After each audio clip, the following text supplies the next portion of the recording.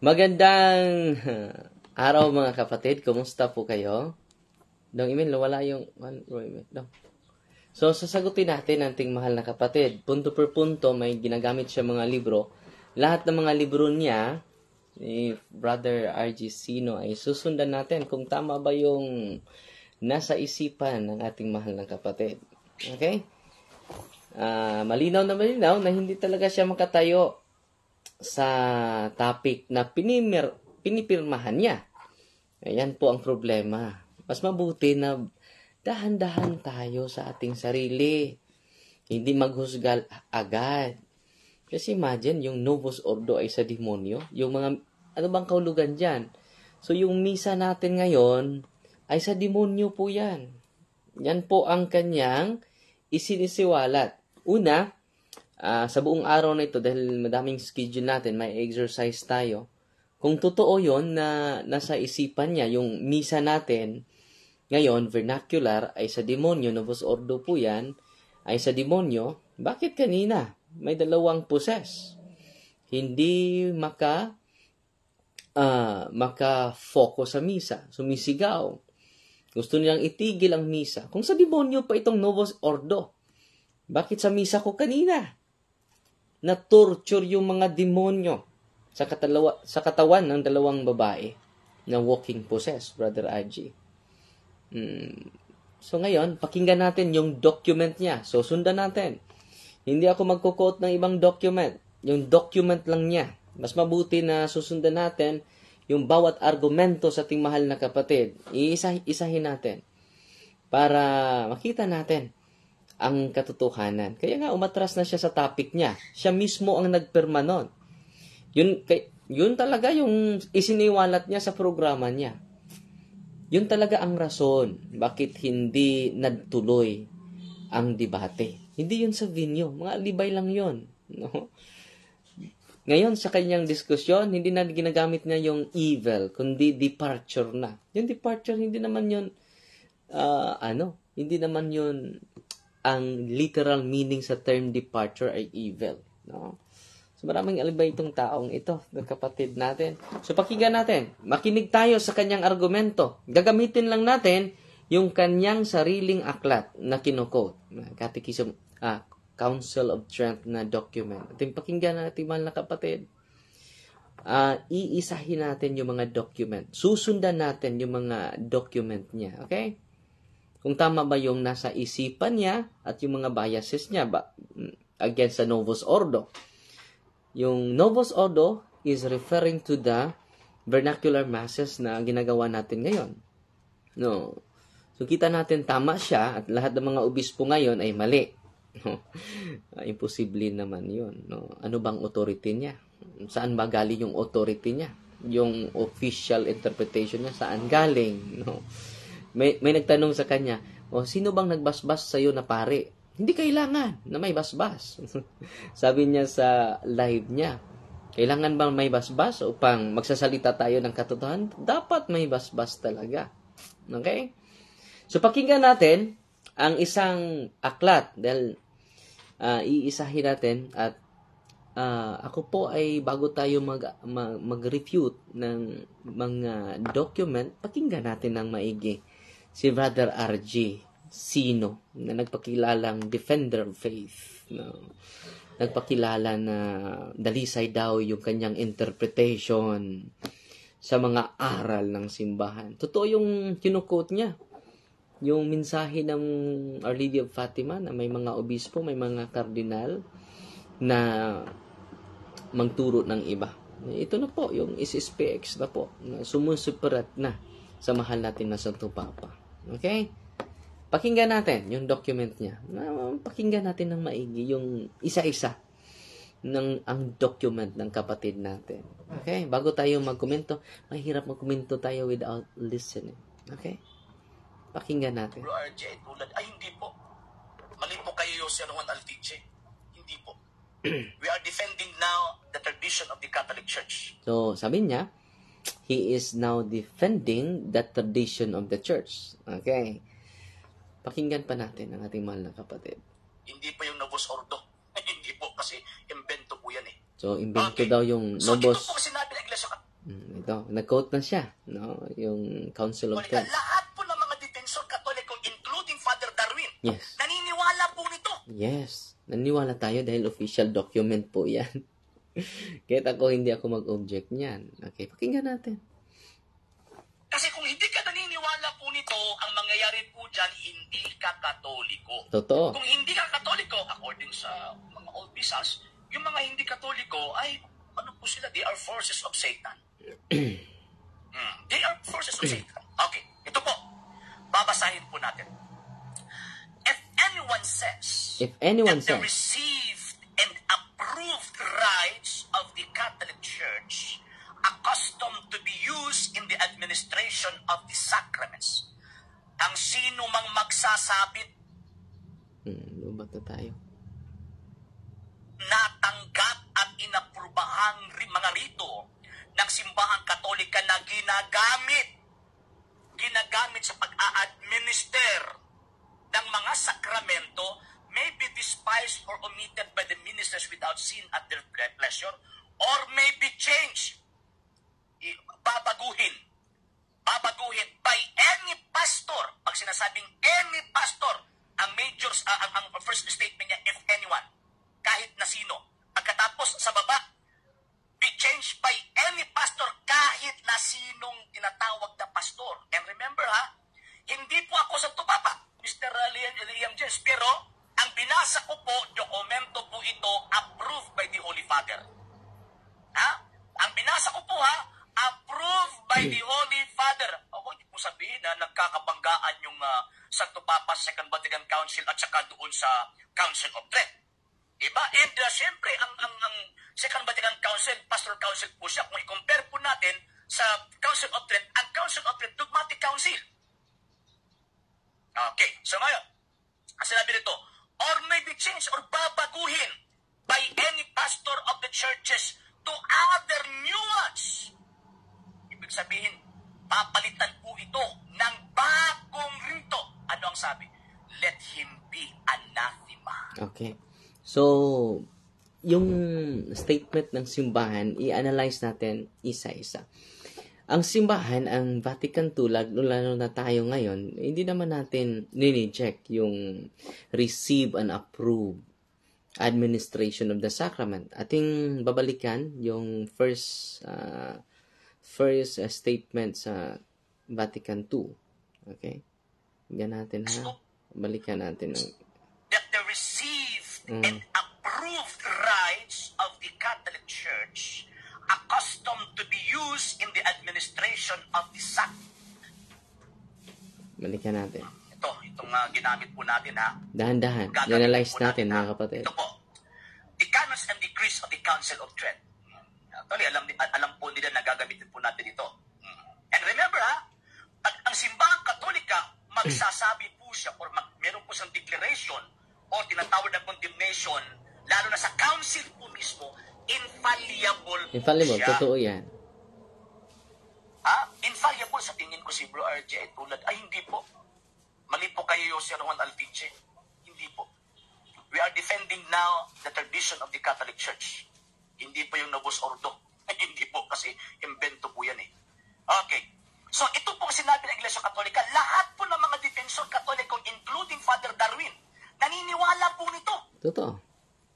Kasi kung hindi ka naniniwala po nito, ang mangyayari po dyan, hindi ka katoliko.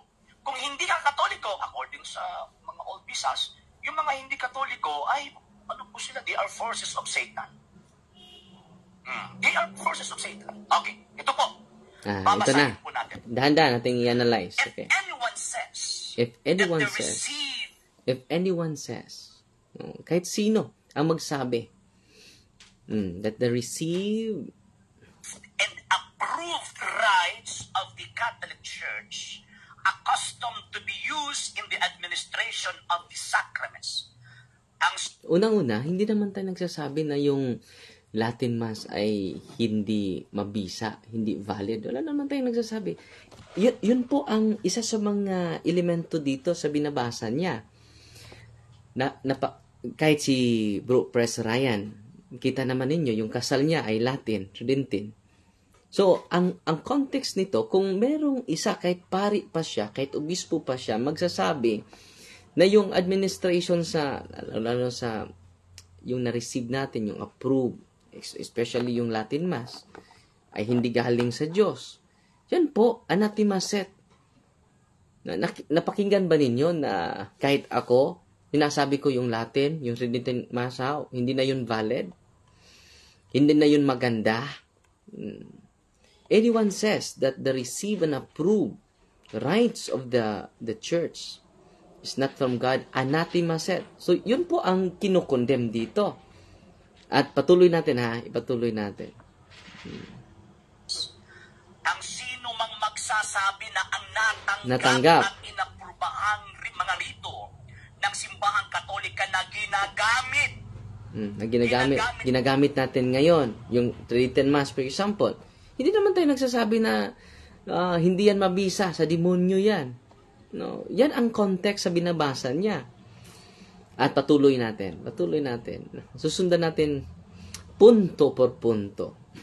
Pag-a-administer ng mga sakramento may be despised or omitted by the ministers without sin at their pleasure or may be changed. Hmm. Dito siya, Babag dito siya nag-highlight sa change. Babaguhin.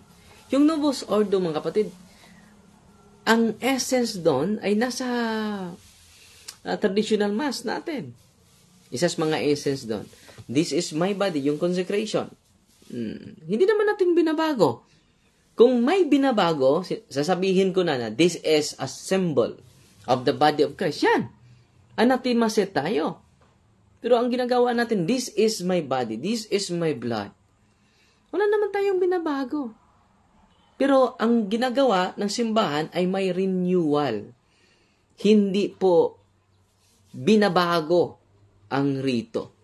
Ni-renew lang, transform lang. Para maging mabisa na tayo sa sa sign of the time. Hmm. Hindi natin binabago yung essence ng misa. Nandyan pa rin yung pare. Kahit si Padre Pio, ha, nagmisa ng Onovos Ordo. Sa demonyo pala. Sabi niya, yung misa ni Padre Pio ay pinakamabisa dahil Tridenten Mass. Alam niyo ba sa huling banda ng kanyang buhay, nagmimisa siya ng Novos Ordo? Tinan niyo, yung huling misa niya, nakaharap na siya sa mga tao. So, dublihin natin yung research natin, hindi dublihin natin yung bias. Dahil kung madubli yung bias, uh, hindi na maganda yung logic natin. Okay? So, totoo yung kinukote niya ngayon. Kapag ang simbahan, kahit, kahit obispo pa, kardinal, sasabihin niya yung Tridentin Mass ay hindi na po valid. Anatimaset po yon. O babaguhin na yung essence sa misa. Pero sa atin, hindi naman binabago. Transformation lang, may renewal lang. Hmm. So, merong pagtubo uh, natin. Katulad ng kahoy. Sasabihin mo, oh, oh, liso pa yan ha. Hindi na yan naging kahoy na. Kung naging kahoy, hindi na ba yun galing sa liso? Hmm. May uh, theological development talaga.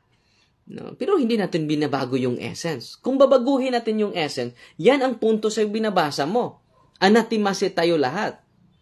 Pero hindi naman binabago yung essence. The essence of the masses is present. Ang pagbabago ay hindi yan pag uh, pagtwi sa katotohanan. May development lang. Tayo ngayon, may development din. Sa bata pa tayo, yung suot natin ay pangbata. Imposible naman, kat, uh, katawanan po, kung mag, mag, malaki na tayo, pero yung suot natin ay pangbata. So kahit yung physical dimension natin ay nagtuturo that transformation is necessary for our development. Hindi natin binago yung doktrina. Hindi naman tinuturo natin ngayon sa mga New Order of the Mass. Tinuturo ba natin na hindi na yan, symbol na yan, yang misa na yan, na Novus Ordo, symbol of God's presence, yan. Anatima sa tayo niyan. Yan ang punto sa binabasa mo, Brother RJ. Mas mabuti na atin itong talakayin isa-isa. Dahil sa mga ordinaryong mga tao, posible na ma-deceive niya. sa kanyang biases against Novus Ordo. Si Pope Francis, pinagdasal pa niya sa kanyang introduction. Bakit ipagdasal niya sa demonyo yon? Yung misa ni, ni Pope Francis ay Novus Ordo. Tingnan nyo, hindi consistent itong taong ito. Babaguhin. Babaguhin by any pastor. Pag sinasabi, Wala naman tayong binabago na essence. Kung bababuhan mo yung essence sa misa, mm, yung pastor na mag-consecrate doon, sabi niya, may bago na daw santo yung Novus Ordo si Martin Luther. Uh, chismis po yun. Saan ba? Sino ba yung mga tao na nag-promote dyan na maging santo si Martin Luther? No, wala naman. No, wala naman. No, akahaka lang po yun. Na, pinakinggan ko, uh, punto por punto, huwag kayong mag-alala, susundan natin yung mga document niya. Meron mga document niya, hindi niya sinasabi yung pangalan ng aklat. Dahil yung mga binabasa niya ay mga kakulay lang niya, yung iba. No? So yung document na binabasa niya ngayon, mga kapatid, malinaw na malinaw, ng essence po sa Council of Trent na binabasa niya, kung merong tao, kahit pastor pa, kahit pari pa, na magsasabi na ang receive and approve by the church ay hindi galing sa Diyos, anatimaset. Pero ako ngayon, sinasabi ko ba, nag, nag Tridentine Mass din ako. Nag-celebrate din ako ng Latin Mass, no? So, mas mabuti na hindi exaggerate natin yung mga conclusion natin. Nasubraan na tayo eh. No? Nasubraan na tayo. Parang tayo na ang magisterium. No? Baka hindi niya alam niyan na the magisterium is the pope, the, the bishop, and the, the, the cardinals. At hindi po ito approved ng protestante. It is approved by Pope Paul VI po. Santo Papa po. No, ang nag-approve nito. Hindi po si Father Darwin. At yung kanyang tema na pinipirahan nila ni Father uh, Brother Press dahil tingnan nyo yung yung atin natin national convention natin doon sa Bilira nag Tridentine Mass tayo. Hmm. Dito balance po tayo eh. Uh, okay yung Tridentine Mass, okay din yung vernacular Mass. Pero sa kanila, oh, parang ganito lang, no? Sila lang ang tama, yung Latin Mass lang na talaga. Pero, ang simbahan ay hindi ganyan, hindi narrow-minded. Ang simbahan ay parang gumagamit ng teleskopyo, kita lahat. Ang mga extreme conservative, extreme liber, uh, liberal, extreme uh, traditionalist, yung parang uh, ano, binusalan ng parang parang kabayo, may may ano, may harang ang kilang mga mata. Ito lang ang direksyon, ito lang ang tama, kami lang ang tama, no? So ang simbahan ngayon ay wide na eh. Gumagamit ng horoscope, hindi microscope. Just imagine yung misa natin ngayon, uh, Brother RJ, ay sa demonyo. Kung sa demonyo yun, bakit every time magmisa ako, nag-react yung mga poses? ipatigil, lalo-lalo na sa consecration. Sasabihin ng mga demonyo, itigil niyan, lalabas na kami. Lalabas na kami. Kung sa demonyo yan, bakit mag-react yung mga demonyo? Na-exorcist naman tayo. So, kita ninyo yung kanyang, awag kayong mag-alala dahil susundan. Susundan kita, kapatid. Susundan kita. Dahil yung document, mag, mag-ingat tayo mga kapatid ha dahil merong mga kasamahan natin yung kaaway ng simbahan ay hindi lang sa labas, nasa, na, nasa loob na. Hmm, dapat sasagutin ko ito. Dahil nagpakilala po ito na defender of faith. Okay? At ang ganda ng mga quotation niya. Wala, hindi naman sinasabi natin sa mga CFD na ang traditional mass, yung approve. Meron ba kayong narinig na yung receive and approve rights by the church. Ang daming rito ng simbahan, hindi lang isa. Ang dami ng rito ng simbahan approved by the church. Pero itong mga kapatid natin, parang isa lang. Isa lang direksyon, isa lang effective. Yung Latin Mass lang. Yung binabasa niya, malinaw na malinaw. Kung merong pari o pastor na magsasabi na yung receive approved rights or administration of sacraments are not from God, anatimaset, or binabago niya. Ano ba ang context niyan? Babaguhin yung essence ng misa. Hindi naman natin binabago yung essence ng misa. Merong liturgy, liturgy of the word. Merong liturgy of the Eucharist. Nandyan. Ang important essence of the Holy Mass, nandyan. Kung babaguhin ko, sasabihin ko, okay, protestante na tayo. So, this is not the body of Christ. This is the symbol. Pag consecrate ko, this is the symbol of the body of Christ. Meron doon pare nagsasabi niyan. yan ay pagbabago. Anathema set po yan. Mm, Yan ang punto sa binabasa niya na document. Okay? Kapag wala tayong background sa theology, madeceive tayo sa maling interpretasyon sa ating mahal na kapatid, Brother RGC. No? Kaya nga, hindi ka tumuloy eh. Sa topic na pinipirmahan mo, may pre-debate conference pa. Yan talaga ang rason ng kita ko. Dahil pamatunayan niya yung Novus Ordo ay sa demonyo. Si Padre Pio ay nag-celebrate ng Novus Ordo. No, ipakita ko sa inyo ha. I-search mo muna natin. So yung Novus Ordo ay ah, haharap na sa ano, haharap na sa mga tao. Tingnan natin kung yung idol, ini-idolize niya si Padre Pio. Sagutin mo ito. Si Padre Pio, by virtue of his obedience sa Santo Papa, ay nag-celebrate na siya ng Novus Ordo. Baka hindi pa niya alam ito. Sa demonyo din siya pa. So, lahat na lang sa demonyo. Mm, imposible naman yun. No? So, kita ninyo yung kaaway ng simbahan na nasa loob lang. So, mag-ingat kayo. Baka tumutulong tayo sa mga tao na uh, nasaan ba ang YouTube dito? Dong. Dahil pakita natin yung actual na misa ni Padre Pio bago siya namatay ay Novus Ordo po. Nakaharap na siya sa mga tao. I-search mo muna dong yung ipakita natin sa inyo. Ah, ang atin is document lang, hindi i- i- i-rebat natin yung mga mga susundan natin. Yung mga document niya, iisa-isahin natin. Okay? Ah, mamaya kung may bakante tayo, susundan natin yung document niya para para sa kaliwanagan ng lahat. Para ma kayo na bahala mag-decide. Kasi itong taong ito ay parang siya na ang magisteryo. No? Siya na ang wasto. Yung Santo Papa ay hindi na tama. No? Siya ra ang may tama. No? Okay. Kaya nga, hindi siya babaguhin niya yung kuan, yung topic. No? Tingnan nyo, dito. Mm. Ito na yung last mass na lang. Facing the people. Facing the people na. Tingnan nyo yung last mass ni ni Papa Papa ah, Pope Pai- Padre Pio. Tingnan nyo. Mm, Yung ito po yung last mass na niya. Maharap na siya sa mga tao. Ay, salamat may kurinti na. Tingnan nyo. Ang last mass ni Padre Pio ay Novus Ordo na. Mm. So sa demonyo pala si Padre Pio.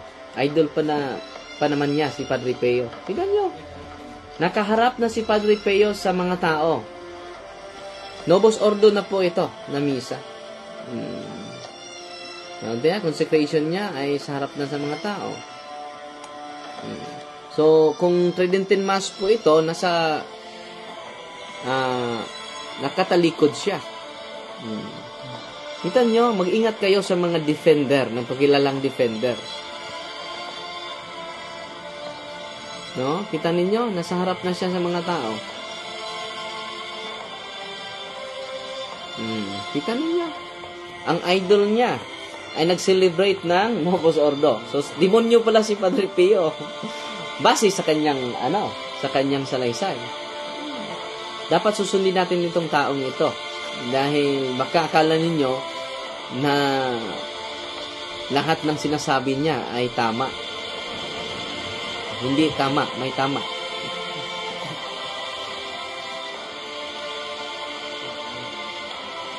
Tingnan nyo, Padre Pio yan ha. Maharap na siya sa mga tao during consecration. Sabi niya yung lahat ng pare na nag-celebrate ng Novus Ordo sa demonyo na kanina idol na idol niya sa kanyang live si Padre Pio. Tingnan niyo. So, ang atin lang, susundan natin. Punto por punto. No, na bago yung yung ano natin, yung ah, sitting natin ngayon dahil ah, nag-brand out. Kahit brand out, hindi ma- Ngayon, alas 10, may exorcism tayo sa dalawang babae na nag-react during misa. Mm. Ang mga demonyo ay nakapasok sa kanilang katawan, possession. Kung ang misa ay sa demonyo, yung Novus Ordo, vernacular mass ay sa demonyo, Brother RJ. Bakit nag-react itong mga demonyong ito? So, yan po ay patunay na mali po kayo. No. so, yung binasa niya, na babaguhin yung rito, ibang mga uh, liturgical essence sa misa, wala naman tayong binabago. Hindi naman natin sinasabi, this is not the body of Christ. Yan. Anaptimasi tayo. Pero ang simbahan ay hindi po static. The church is dynamic. Ano po ba yung kahulugan dyan? The church ay tumutubo. Hindi siya stagnant. Kung yung simbahan mo ay stagnant, ay hindi buhay yung simbahan mo. Hmm. Kung hindi siya open sa pagbabago at sa development, hindi natin i-change ang essence sa dogma. Wala tayong karapatan dyan. Pero, ang development ng simbahan, dahil ang simbahan ay buhay. Ang simbahan ay tumutubo. Parang kahoy. Napigilan mo ba yung pagtubo ng kahoy? Sasabihin mo, hindi na yan yung original ng liso? Galing yan sa ordinaryong liso. Pero tumutubo. Ganyan din ang simbahan tumutubo, Brother RJ. Hindi stagnant. The church is not stagnant. The church is dynamic. Kaya nga ang simbahan, pati tayo ay lumago, tumutubo. Pero yung essence natin, yung tradisyon natin ay hindi nababago. Yung dogma natin hindi mababago. Pero yung ating pananaw sa buhay ay gradually uh, dahan-dahan ay may transformation, may pagtubo. Mm. We change, we transform not for better, but for the best. So kung merong transformation ng simbahan, it is not for better, for the best. Yan ang katotohanan. Just imagine kung mag-celebrate lang tayo ng Latin alone, no? Dadami yung protestante, dadami, dumadami na nga ngayon, nga vernacular yung misa natin. Lalo lalo na mag-Latin-Latin lang tayo. Hindi nila maintindihan. Hmm. So yan ang simbahan ay hindi siya ghetto mentality. Yung ghetto mentality, ito lang ang tama. No. Pero ang simbahan ay wide, hindi katulad mag-isip ng mga extreme conservative, extreme traditionalist. Hmm. Tama yung ano mo, yung uh, Council of Trent na sinasabi, kinukote mo na ang kung meron man ni isa, so ang context nun, kung meron man ni isa, nasasabihin na yung mga administration ng sacrament ay hindi galing sa mga apostol, ay galing sa Diyos, anatimasit yun.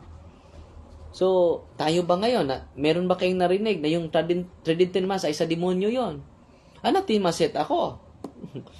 so, tama yon yung sinasabi niya. Pero out of context yung nasa isip niya eh. Meron na siyang bias. Kung makakita lang ng change ay ay uh, Nobus Ordo na yon hindi naman. Wala pa mang Nobus Ordo sa panahon sa Council of Trent. Yung transformation ng liturgy or renewal renewal nga eh. Para maging effective tayo sa modernong panahon ngayon. Hindi ni modernism renewal kaya nga sa sa Biblia yan po ay patunay may Old Testament may New Testament yung New Testament is renewal pero yung mga tao na hindi gusto ng renewal, ay narrow-minded po yun. Okay? Sinusundan na natin si Brother Argisino sa kanya. Okay, magalala, mayroon pa siyang mga limang aklat siguro, susundan natin. So, sa pangalawang aklat niya, mag-live naman ako, pero i-insert lang natin. Sisikapin ko na masundan natin siya para mag mag-guide naman dahil wala namang paring nag-guide sa kanya. Sabi, may nagtatanong nga niya, sino bang nagbasbas sa'yo? Kailangan bang may basbas? Upang magsasalita ng katotohanan, tingnan nyo. Yung linya lang sa pagsasalita niya, parang siya na ang authority. Hmm. Brother RG, obedience is greater than sacrifice. Brother RG, sino? Obedience is greater than sacrifice. Kahit pare na po ako, dapat makinig ako sa official ko. Kahit pare na po ako, dapat makinig ako sa obispo ko.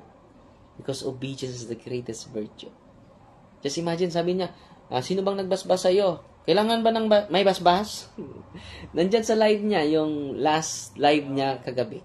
Susundan natin itong taong ito para hindi kayo malilito, not for the sake of ar- argument, but for the sake of clarification and of truth. Okay? Mahal natin nating kapatid. Kaya nga, sinasali natin sa dasal natin na ma-enlighten po itong taong ito. Say- Sayang yung talento niya. Sayang yung ah, talino niya na napunta sa iba. Totoo naman yung sinabi niya na ang Fatima ay nadismaya dahil meron ng mga obispo, may mga kardinal, hindi na naniniwala sa simbahan. Nag-create na sila ng sarili ninyang eklesya o simbahan. So mag-ingat po tayo sa mga seemingly traditional pero extreme. So balance po tayo. Kailangan natin ng tradition ng simbahan, mga traditional. Hindi naman masama conservative tayo. Hindi naman masama na ah, meron tayong element of being progressive. Dalawa po yan. Yan po ang nagbigay ng buhay ng simbahan, yung ah, traditionalist at ah, progressive. Dalawa po yan, parang na dalawang pakpak. Kung puro lang tayo extreme traditionalist, isang pakpak lang po yan, ano mangyari sa ibon na isa lang pakpak? Hindi yan makalipad ng malayo. Pero meron tayong balance, moderation na pagtanggap sa dalawang pakpak, yung pagka ah, moderate na liberal, moderate na traditional, yan po. Ah, parang dalawang pakpak. Makapunta po tayo sa ah, pinakamalayo sa ating misyon. Yan po ang challenge ni Kristo natin. So, yan lang mun- po muna yung sagot natin dahil alam nyo, bago ako mag-rebat, pinakinggan ko muna maigi dahil bias naman kung ribat tayo ng ribat pero hindi natin sinusundan yung mga aklat niya. So, yung pangalawang aklat niya, dahil na, nalubat na si email, ah mamaya na lang, baka mamayang hapon, meron siyang kino-quote na Synod of Istuya. Ah, maganda yan. No? Huwag kang mag-alala, Brother RJ, susundan kita. Lahat ng mga document mo, susundan natin at ah, i-clarify natin. Dahil kapag hindi yan maklarify, ah, sasabihin ng iba na may tama si Brother RJ. No? So, yung mga biases niya ay malinaw na malinaw po. Uh, so, yung mga obispo na nga nag-approve po niyan, yung Novus Ordo, si Pope Paul VI, Santo Papa ang nag-approve niyan, hindi si Father Darwin, hindi din si Brother RG. Yung kanyang, yung kanyang mga opinion, ah, parang, ano, parang attractive dahil kumukuot din siya ng mga document. na pero, ah, misguided. Misguided po. So, yung document niya, sinasabi niya, anyone says that they receive and approve administration of the sacraments are not from God or not from the apostles, anathema set. O binabago niya yung essence. Hindi naman natin binabago, tina-transform lang yung rito ng simbahan. Yung transformation ay hindi yon pagbabago ng essence ng misa. So, isa sa mga essence ng misa, yung consecration. Hindi naman sinabi ng pare, this is not the body of Christ. This is the symbol of, yan ang protestante na, na teolohiya. Pero it is approved by the church. Therefore, the Novus Ordo is not a Protestant mass, but it is approved by the authority. Sino ba ang hum- humawak ng Yahweh? Si Brother Ajay? Kailan ba siya nakatanggap? Kahit duplicate lang. Kahit nga ako, hindi ako magsasabi na itong ano ko ay ito talaga ang authen- authentic. Magbabase tayo sa ating mga obispo. Magbabase tayo sa ating mga kardinal. No? Hindi yung mga kardinal na ah, lagi na lang nag-object at i-impose nila yung theological idea nila. Ah, maghintay sila na maging Santo Papa parang sila na ang ating pakinggan. So the last say, lahat ng mga obispo may uh, may theological ideas, but the last say is the Pope, not cardinals, nor bishops, but the Pope. Kaya nga yung Pope ay uh, uh, he is the first among equal equals. No? Ano ang Santo Papa? He is the first among equal. Among equals. Yung ka-equal lang niya yung mga cardinal, mga, pero siya yung first, siya yung last say. Hindi yung ibang cardinal. So kung may theological conflict between cardinals versus versus cardinals, ang lasi po niyan ay hindi yung mga cardinals, ang Santo Papa po for the unity of the whole church. Okay? Yan po. Huwag kayong mag-alala, susundan natin si Brother RG, mahal nating kapatid. Okay, Fighty Maria, Tatak CFD with a humble heart po.